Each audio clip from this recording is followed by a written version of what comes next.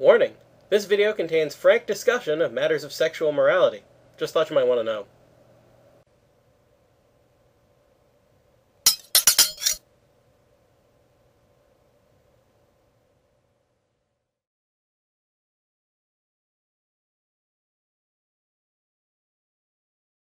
Hey, welcome back to Clean Cut, where we can talk about the truth about just about anything, as long as we use logic and common sense. This season, we're addressing the parts of the old law which remain valid and grave today the Ten Commandments. So far, we've talked about the first five commandments, and now it's time to tackle the sixth Thou shalt not commit adultery. This time, contraception. What is it? Is it part of the prohibition of the sixth commandment? Here, the Catechism doesn't seem to have a definition, so instead, I'll be referring to the dictionary for the definition of this term. Contraception is the deliberate use of artificial means to prevent pregnancy as a result of sex. So, is this a lustful action, and is it against the sixth commandment?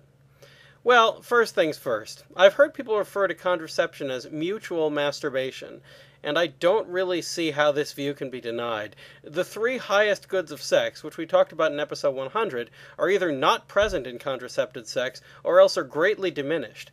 Union with your spouse can't be a complete union if you're reducing the nature of the sexual act.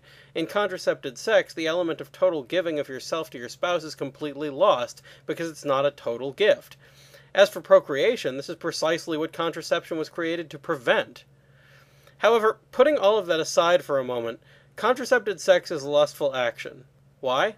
Well, let's look at the criteria for lust. 1.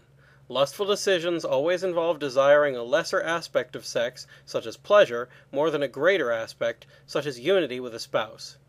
In choosing to contracept, you reject all three of the greater goods of sex, as previously explained, in favor of mere mutual pleasure. Therefore, it fulfills criteria 1. 2. Lustful decisions always involve sex or sex based motives on at least some level. Contracepted sex is still sex, therefore it fulfills criteria 2. 3. A lustful decision can be any action, word, or thought as long as it conforms to these criteria. Contracepted sex is an action, it therefore fulfills criteria 3. So it follows that contraception is a form of lust, and as a result against the sixth commandment. The only way this would be different would be if you took contraception then never had sex, but given that most contraceptives are essentially low functioning poisons, it's hard to think of any reason why a person would do that. In fact, the very act of taking the contraception is rather like buying a Da Vinci painting and then scraping all the paint off. Sex, properly understood, is a high power, a great honor, and a preparation for an even greater one, a billion dollar gift from the Most High, and if you contracept, it's like saying, Thanks, but I'll just take a quarter if you don't mind. Next time, what's fornication? And does it fall under the sixth commandment? That's all for now, so keep asking questions, and thanks for watching.